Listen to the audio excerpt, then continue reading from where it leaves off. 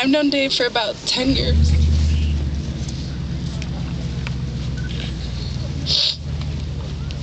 And his favorite thing ever to talk to me about was always fishing.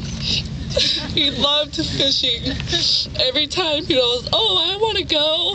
You know, well, him and my dad, they got pretty close. And he would go fishing with my dad sometimes. And, you know, he become became a part of our family.